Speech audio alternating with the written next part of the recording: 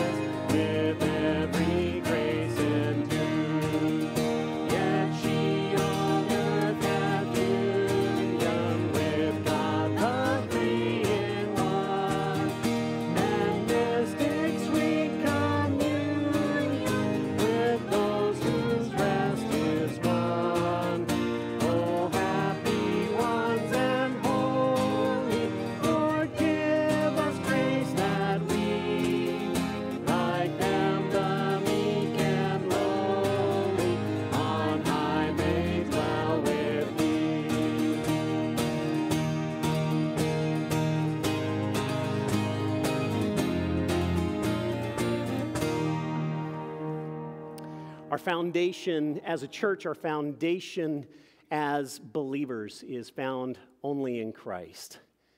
We look to the one true God for our salvation and for our daily lives. Let's continue to praise Him.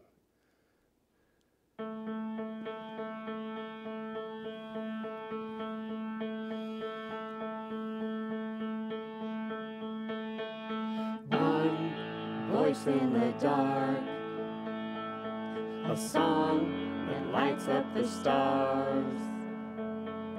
One breath that gives life, one sovereign in power, who speaks with thunder and fire. One Lord, one King, there is no other that can compare to you. You are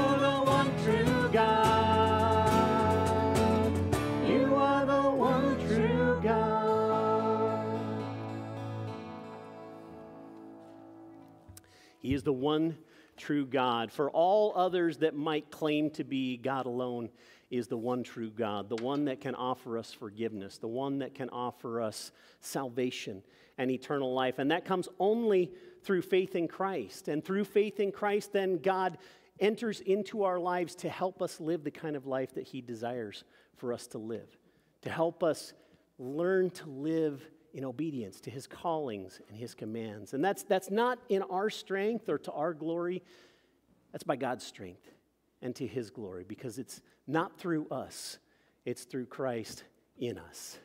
Yet not I, but through Christ in me.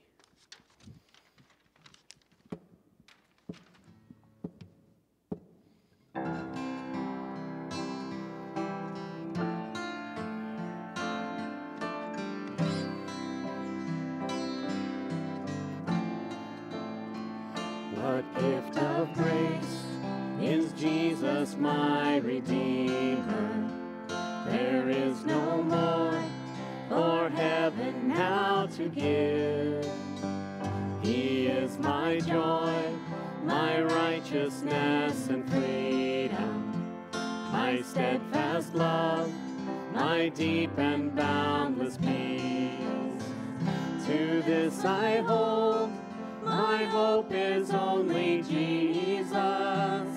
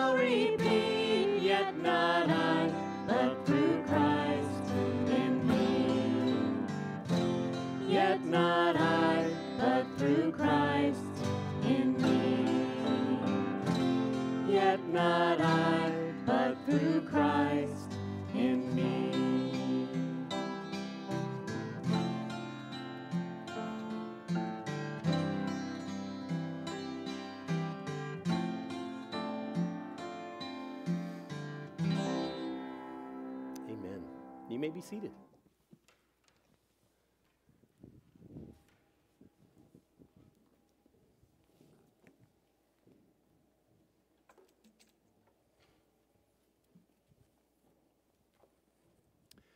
Well, I'm not sure if any, any of my kids are in the room to head upstairs for Kids Connection, but you guys are dismissed at this point. And uh, for the rest of us, let me just run through a few announcements before we get into our study in the Word today.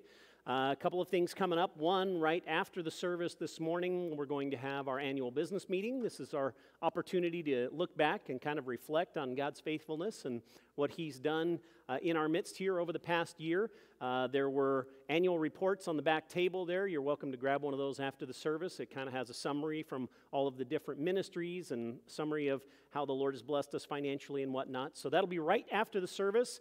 And then as soon as that's concluded, we're all going to head downstairs and enjoy lunch together, and lunch is provided. So hope you can stick around and enjoy the time of fellowship with us.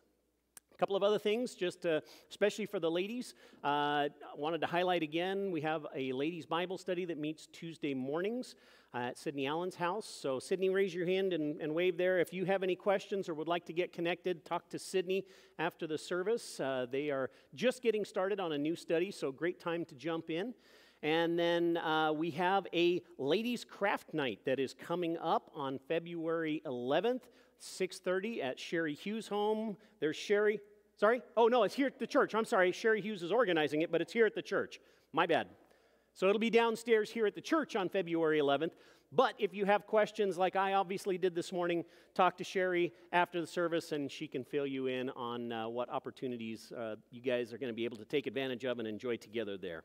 All right, well, let's, uh, let's take a moment again and quiet our hearts before the Lord in prayer, and then we'll open His Word together. Lord, it's good to just pause for a moment, kind of take a, a breath, even a, a spiritual breath. Quiet our hearts before you, and Lord, to prepare ourselves to receive what you have for us out of your word. God, you have given us in the Bible here everything that you desire for us to know and understand about you. You have made it available to us, and I praise you that we live in a time when every one of us can have not just a copy, even multiple copies that we can have with us all the time. That we can go to your word with ease, no matter where we are, no matter when it is. And so, God, as we set aside this time to do that very thing this morning, we seek your leading. Lord, it's your word. There's no one better to go to to help us with the interpretation and understanding of it than the author himself. And so we look to you this morning, God, to be the one who helps us to rightly understand and to see how relevant your word is to our daily lives. Help us to apply the things we learn, that we might live in a way that pleases you and glorifies you. I thank you for each of these folks, and I thank you for the time we get to enjoy together now in your word. We ask your blessing in Christ's name. Amen. I'm not sure how many of you know, but uh, Julia and I were high school sweethearts. Uh, we started dating in high school. I was a, a, senior, she was a sophomore. Went to both of our proms together, grad nights, uh, various school dances and functions. And I was uh, thinking back and remembering one particular formal dance that we went to. Um, we had planned afterwards to drive from we were we were down in Burbank, kind of the San Fernando Valley, LA area. We were going to drive from wherever the dance was held uh, down to Malibu to have dinner at a nice restaurant. And so uh, I, I, made plans. Uh, this was back in the day when you had to call information to get the number if it wasn't in your, your phone book, which it wasn't because it was not in my city. So I called information. Uh, this was pre internet, people, so there was nothing to Google. So I, I called and I said, Hey, I'm, I'm looking for this restaurant. And they connected me and they answered with the restaurant name. And I made reservations at the time, and everything was good. Uh, it had been a little while since we'd been to the restaurant, probably a couple of years, but we had been there before and enjoyed it. And so we were looking forward to it. And so we went to the dance and we had a great time at the dance. And then we hopped into my car and we drove down to Malibu and, and went through the canyon, ended up down on Pacific Coast Highway and started driving down PCH uh, on our way to the restaurant and just talking and having a good time. And I suddenly realized as we were talking and having such a good time that I had driven too far. We were like out of Malibu and into the next city, and I'm like, wow, we must have been having so much fun. I totally missed the restaurant. So we turned around and made our way back and, you know, kind of looking, kind of talking and laughing. And I ended up all the way back at the canyon road we had come in on and thought, man, I missed it again. So we turned around again, and this time we did no talking. We were like watching every building that went by, and we got back down to where I had turned around the first time and still didn't see it. So we came back a second time, now having gone up and down PCH four times. And finally, I uh, found a gas station and I stopped and asked for directions. And I said, hey, we're looking for, uh, you know, it was Don the Beachcombers was the name of the restaurant. Looking for Don the Beachcombers restaurant. Uh, I've been up and down the road here. I, I don't, haven't been there in a couple years. He's like, yeah, uh, see that vacant lot across the street there? That's where it was. You remember that big storm we had last year, year and a half ago? Washed the whole thing out to sea. It's gone. Oh, Wow. Came to find out that there was another restaurant by the same name in a completely different city, and that's who information had connected me with. So apparently, we were reserved in some place that was an hour and a half away. We were never going to make it. We didn't let it spoil our evening. We actually ended up at the Jack in the Box that was right there.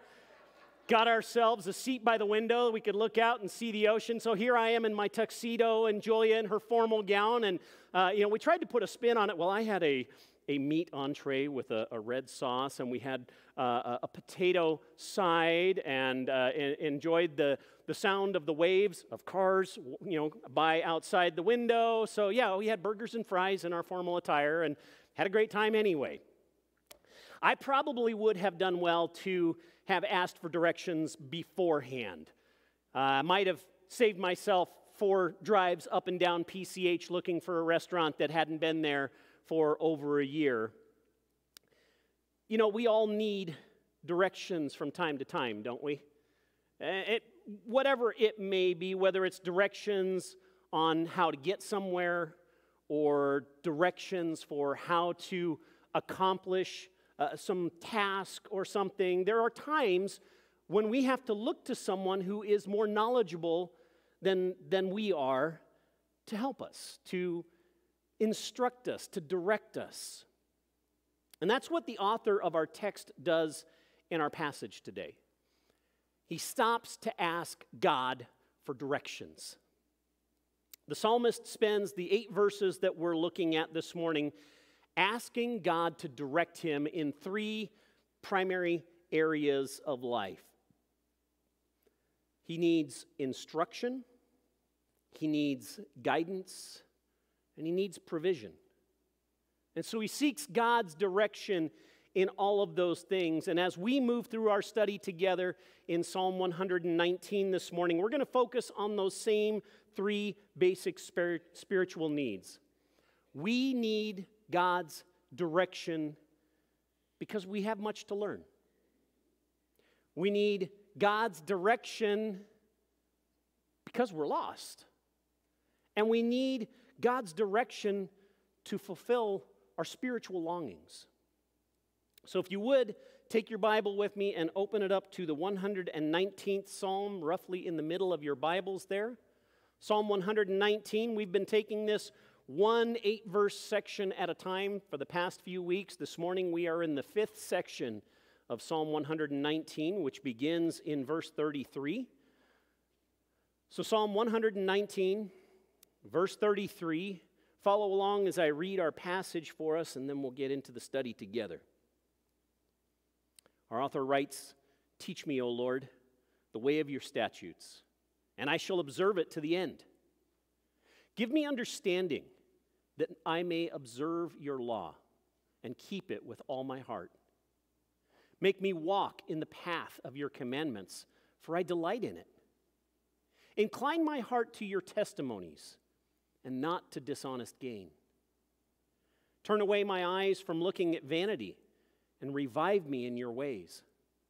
Establish your word to your servant as that which produces reverence for you. Turn away my reproach, which I dread, for your ordinances are good. Behold, I long for your precepts. Revive me through your righteousness. So, in these verses, the author recognizes that he, like every one of us, he has a need. And we could state it like this that we need God's direction because we have much to learn. I've noticed over the years, perhaps it's been your experience as well, I've noticed over the years that the more I learn, the more I realize I don't know. The more I learn, the more I realize how much more there is to know out there. And we are called to be students of God's Word uh, throughout our lives, to just keep learning, to keep digging into God's Word and seeking to understand and apply it. And that's clearly the desire of the psalmist.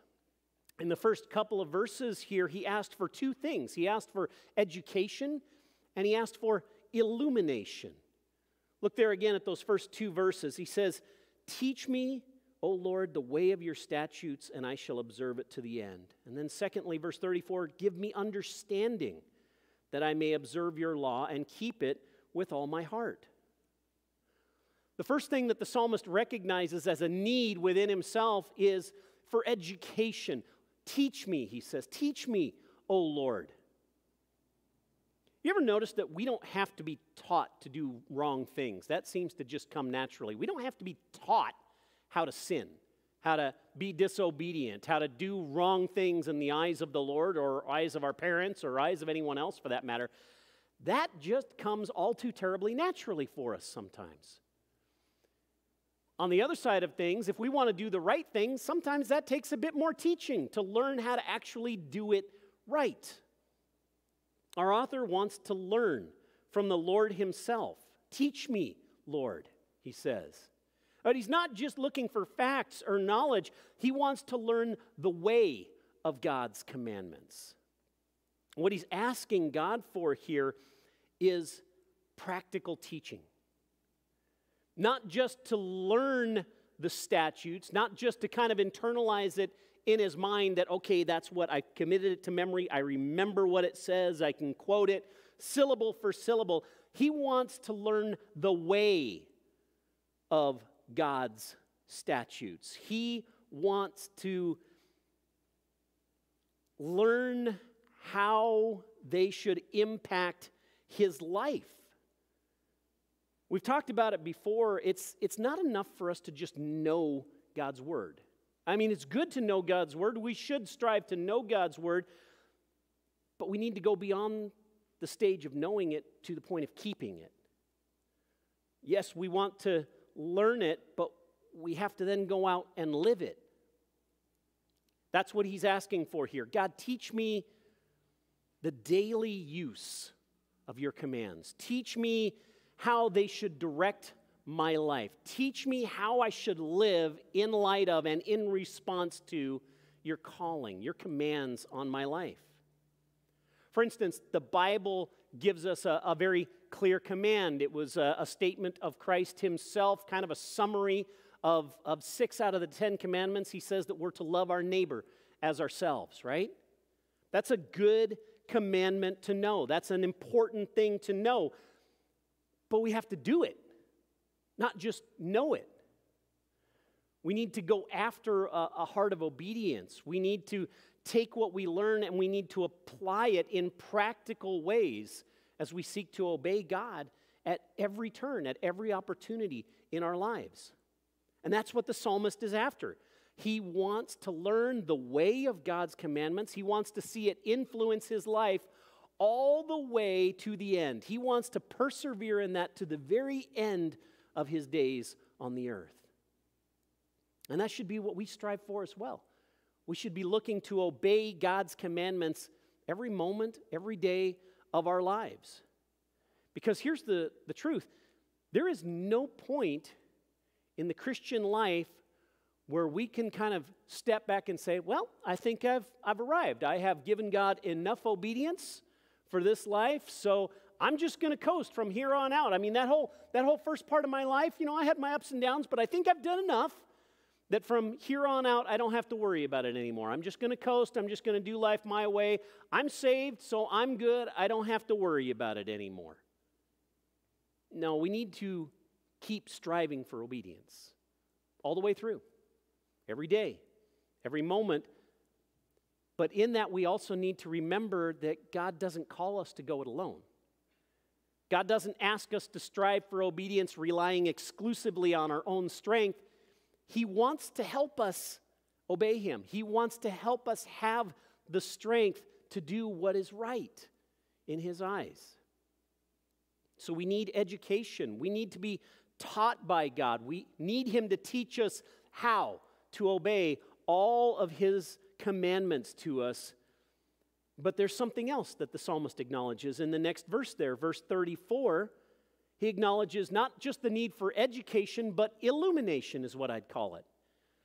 34, he says, Give me understanding that I may observe your law and keep it with all my heart. See, we need not just teaching, but understanding, not just education, but illumination. Understanding means that we have taken that theoretical knowledge and we have learned how to apply it to what we've been taught. We haven't just learned it, we've understood it and kind of applied it now to the actual day in and day out of our lives.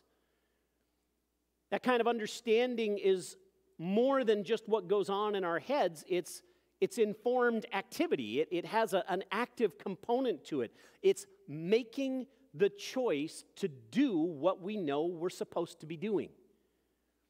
That's why the psalmist wants understanding. He says, so that he may observe and keep God's law with his whole heart. I want to do this wholeheartedly, God. I want to do this with every part of me. So we need to seek understanding so that we might be full of obedience as we live before the Lord. We need God's direction because we have so much to learn. We need to be educated in God's ways. We need to be illuminated so that we can live rightly. We need to depend on God for our spiritual instruction. Well, the writer of the psalm knew that he had much to learn, so he stopped and he asked God for instruction. In the next three verses, then, he goes on to acknowledge another need that we all share. We need God's direction because we're lost. Without Him, we're lost. We need God's direction. We need His guidance. We need His leading in life. If we are going to attempt to live lives that please the Lord, we're going to have to have God's direction on how to do so. We have to be shown how to live. We're truly lost without His direction, so our author cries out for God's guidance in three ways. He asks that God would help him to learn the right path that God would help him to lean on the right word, and that God would help him to look at the right things.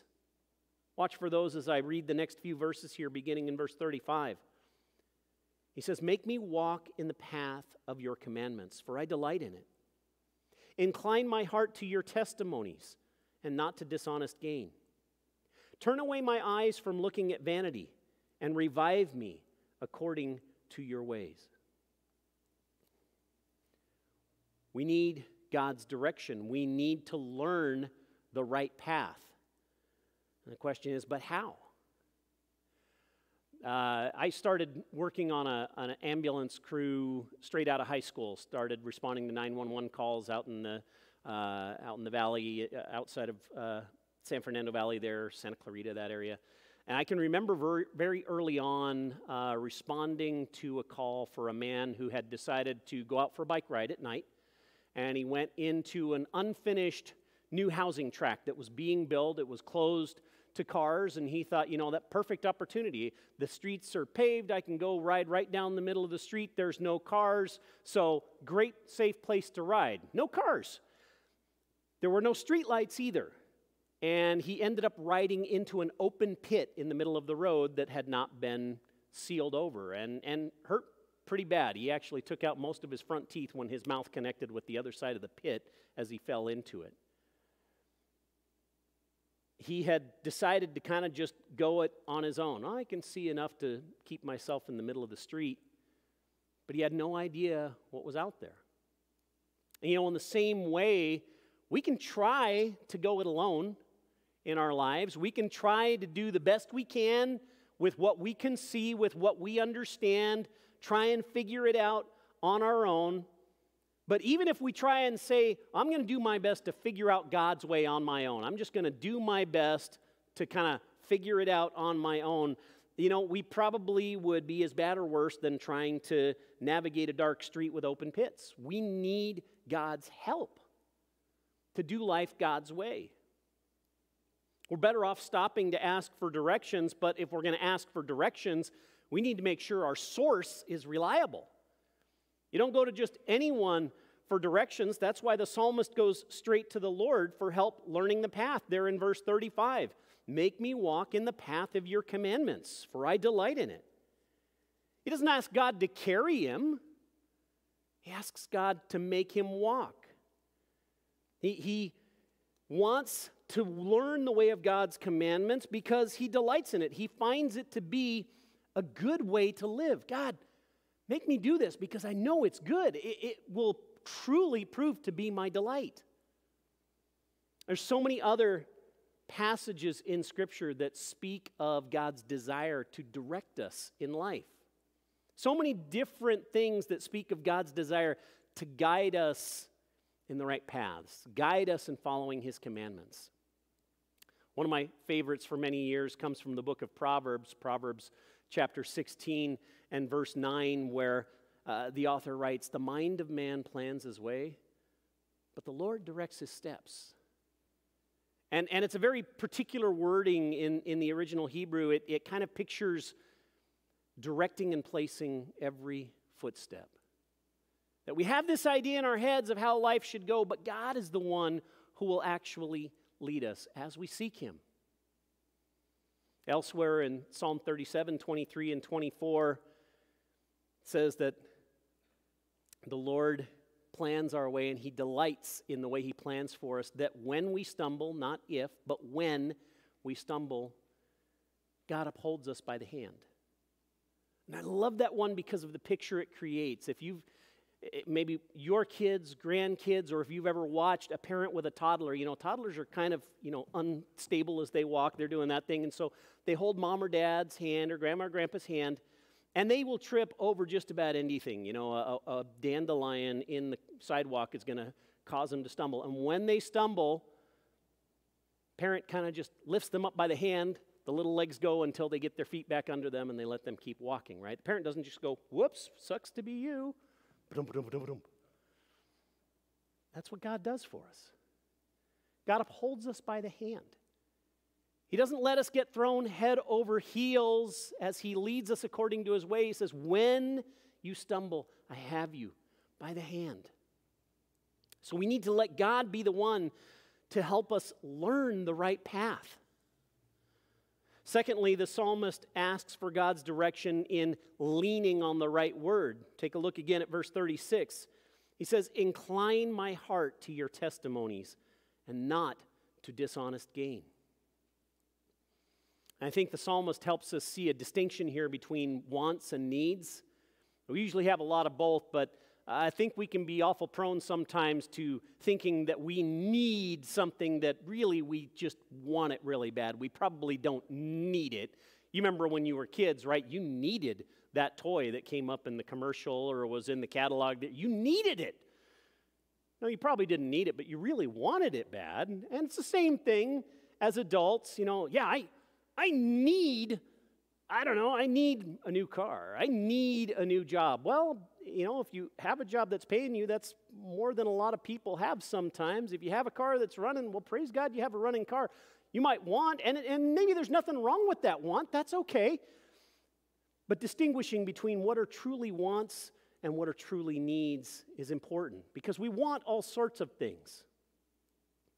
The principle that, that we see here in verse 36 is that the way that the heart leans is the way the life leans. Whatever way we've kind of inclined our hearts, whatever things we lean our hearts towards, that's kind of the direction our life starts to move. So, which way does your heart lean?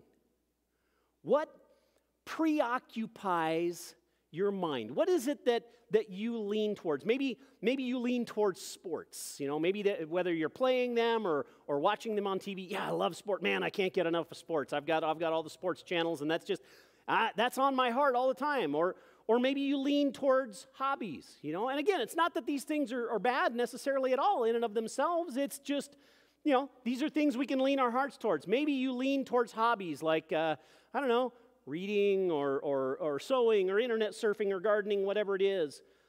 Maybe you find yourself leaning towards whatever you can get. Get whatever you can get. You know, looking for the next way to get ahead, looking for the next way to get something more.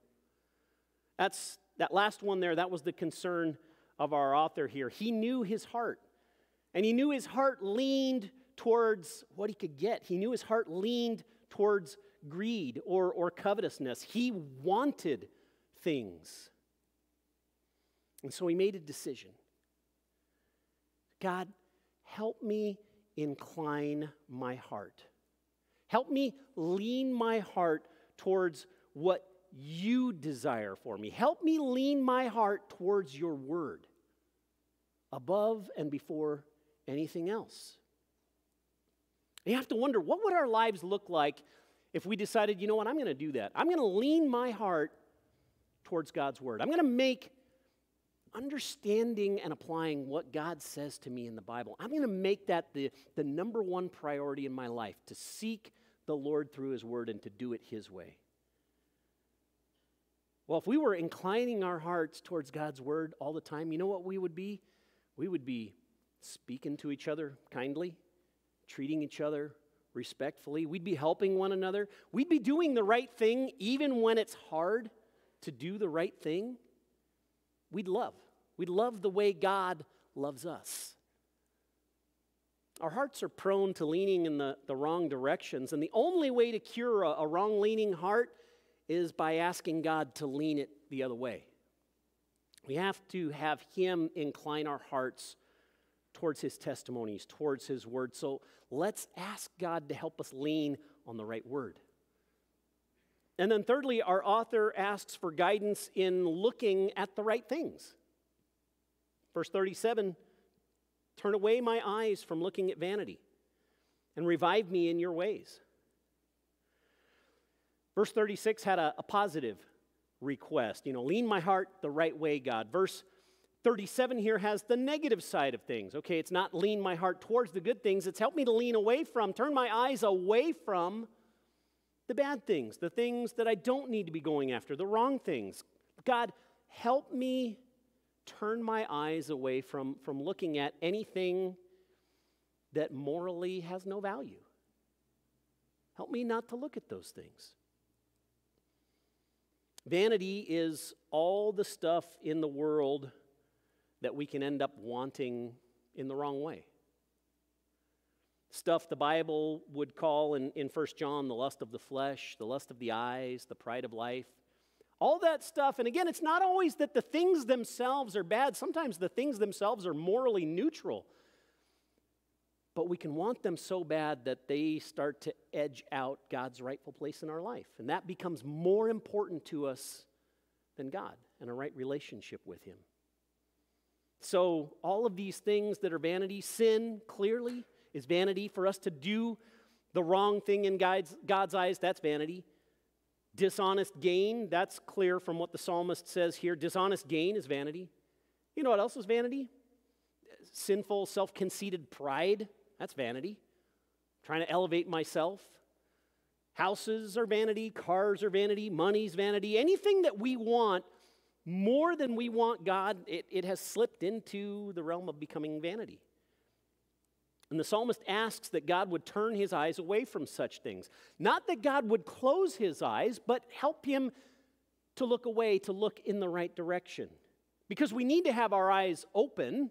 We don't have our eyes open, we run into things, we fall into things. We've got to have our eyes open, but we need help in directing our eyes to the right things.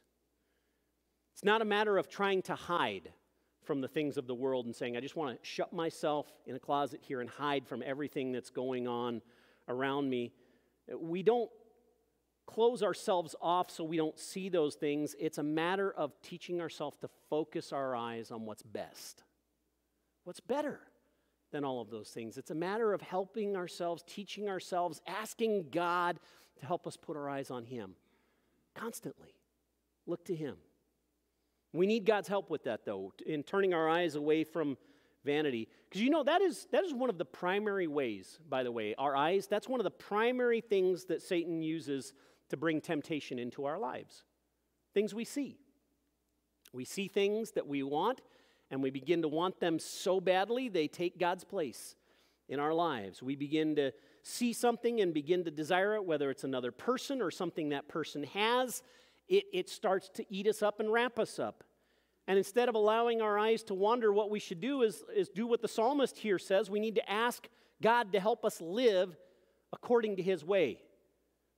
Revive me in your ways, God. Help me to come back from the direction I've done things, maybe on occasion, maybe far too often.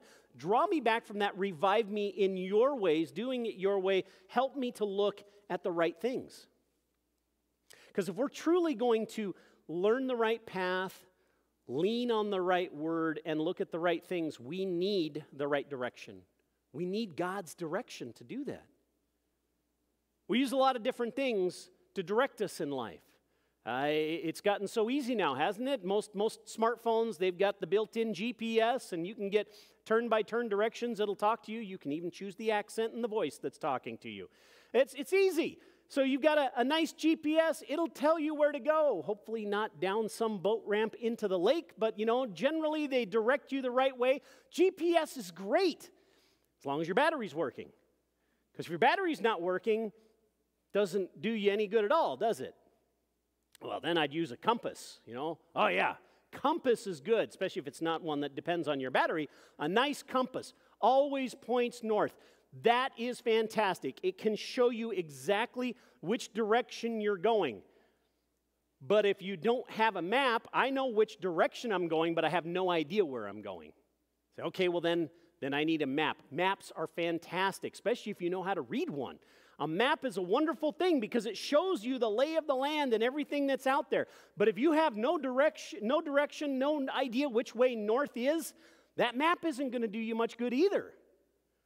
So, well, I'm going to use all three then, and that would be fantastic. That's probably the best way to get around. If you have your GPS that's working and has batteries, you have a compass and you have a map and you know how to use all those things, well, you can get just about anywhere. Using all of those things together would be the most reliable way of getting to our destination. We'd be covered no matter what. Well, spiritually, then, we need to use every means that God has provided to us in order to follow the way He wants us to live our lives. God's given us His Word, He's given us His Holy Spirit, God's given us brothers and sisters in Christ, our, our, our spiritual family, to come alongside us and encourage us and pray for us and help us. We need God's direction because we're, we're lost. And we need to depend on Him for spiritual direction. One final area of need shows up at the end of this section we're looking at this morning. Here, our author moves from needs to that, that realm of more stuff we'd call wants, or in this case, longings. We need God's direction to fulfill our spiritual longings. Because here's the reality we're dependent on God for everything. Whether we realize it or not, whether we acknowledge it or not, we depend on God for everything, every single day. If God decided He was done and decided, I'm going to withdraw my power and my presence from this universe I've created, do you know what would grind to a halt in an instant? Everything around us, every part of us. We're dependent on God for everything. Our author knows this. And so, with the last three verses of our passage, he expresses three longings a longing for God's response, a longing for relief, and a longing for revival. Watch for those three as I read the last three verses of our passage. He says, Establish your word to your servant as that which produces reverence for you. Take away my reproach, which I dread, for your ordinances are good. Behold, I long for your precepts. Revive me through your righteousness. The first longing we read of is for God's response. You know what the author longs for here in the simplest of words? Answered prayer. He just wants God's answer. Pleads that God would establish his word.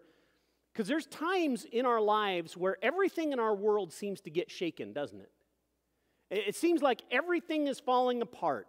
And, and I don't know what that's looked like in your life. Maybe, maybe it's looked like the loss of a loved one. Maybe it's looked like the loss of a job or the loss of a home or, or I don't know.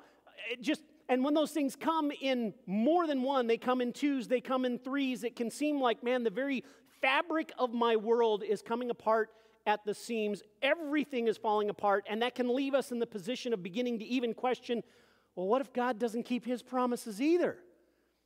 Nobody else in my life seems to be keeping their promises. Everything's falling apart. What if, what if God doesn't answer? What if God doesn't help me? That's what the psalmist prays about in verse 38 that God would answer with what God had already promised. It's the cry for God to do what he said he would do. God's promises, the psalmist says, they, they produce in him a, a reverence or a, a, a, fear. And not, not the kind of terrified, shaking in your boots kind of fear, but that, that kind of respect sort of side of fear. Because, yeah, we ought to be afraid of failing God at any point of our lives. That's, that's appropriate. But what we're to fear as, as those who have put their faith in Jesus for our forgiveness and salvation, our fear is not about losing that salvation. Our fear is not about coming under God's judgment.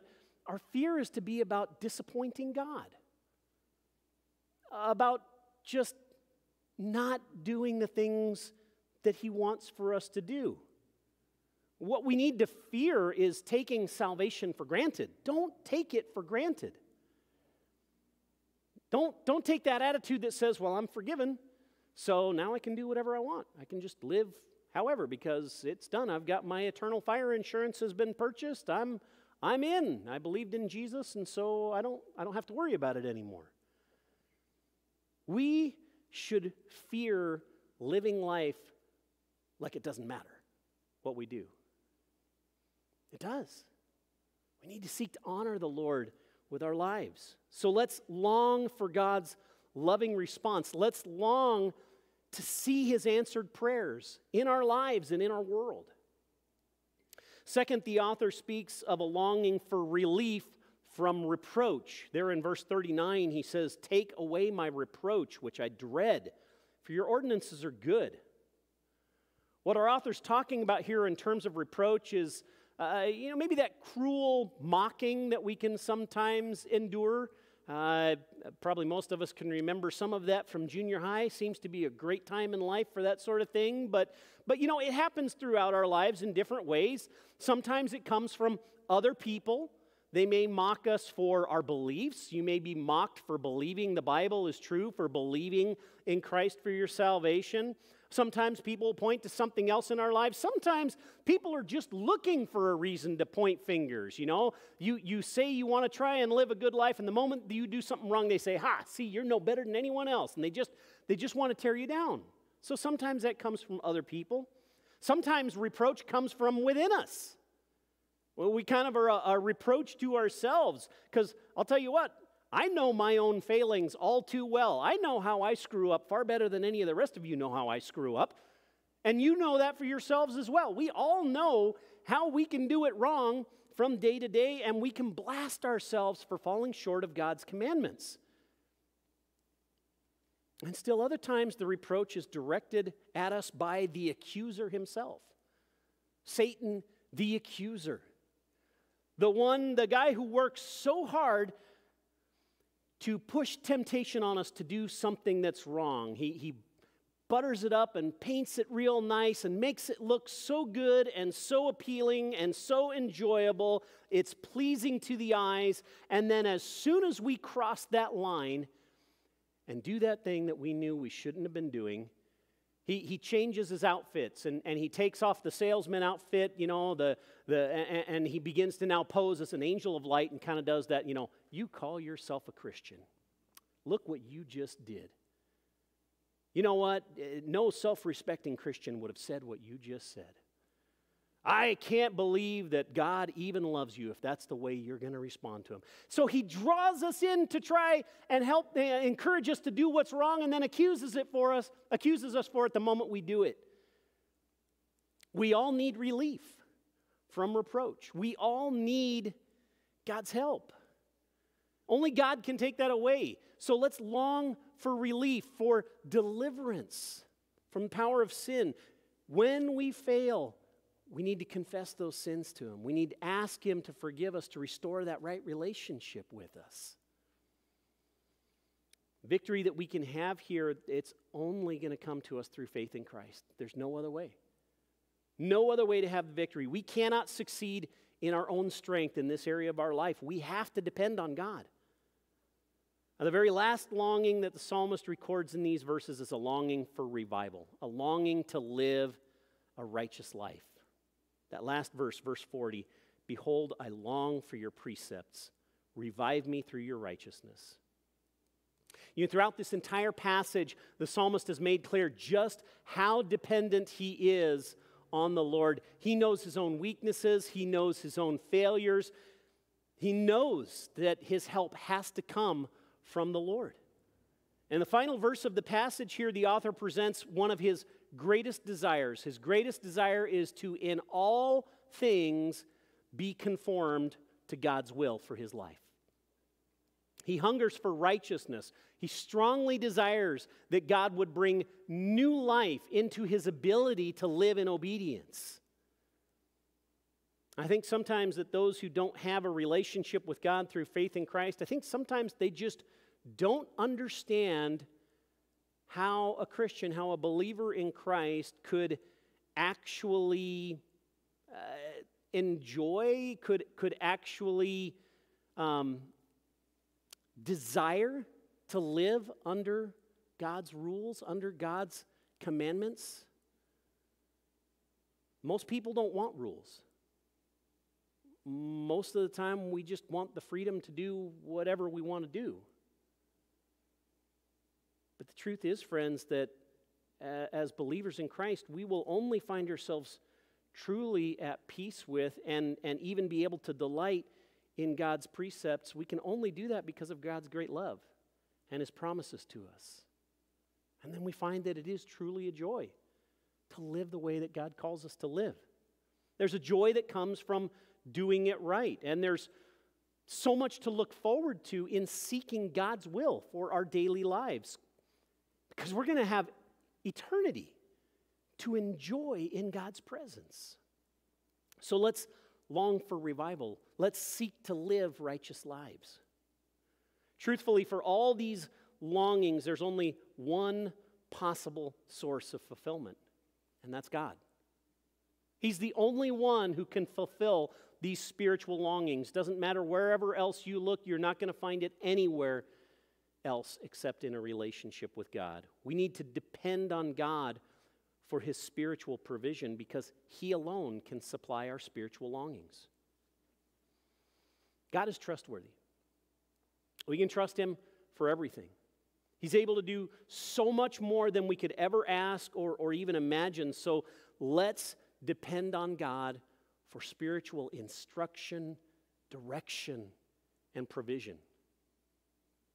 Uh, right along with the psalmist here, let's depend on God for spiritual instruction, direction, and provision.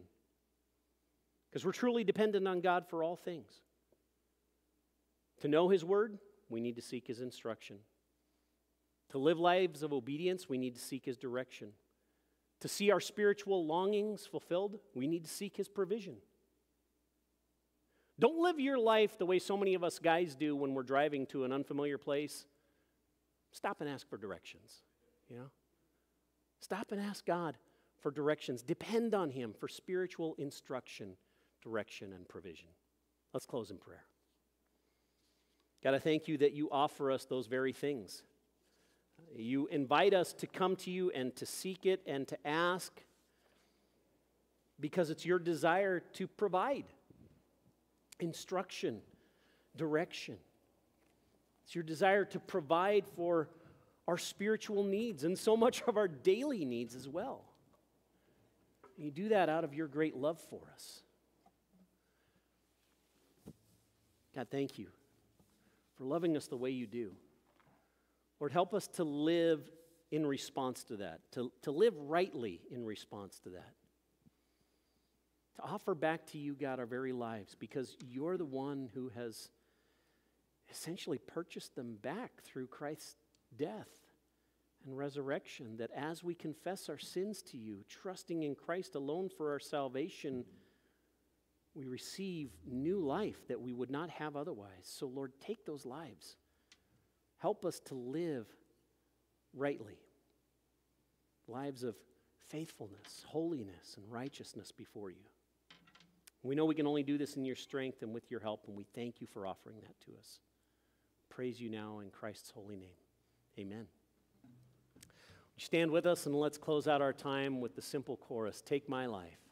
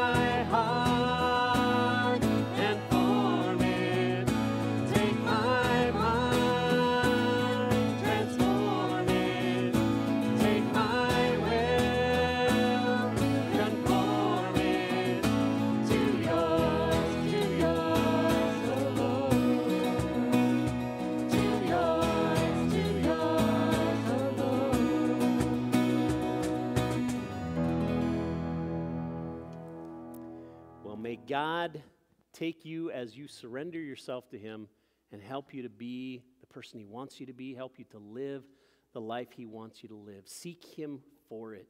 He is faithful. God bless you guys. I pray you have a wonderful week this week. Our business meeting will be starting up in just a few minutes, so take a moment, socialize, enjoy the time together. We'll have our business meeting, and then immediately following that, we'll head downstairs for lunch. I hope you can join us. God bless you guys.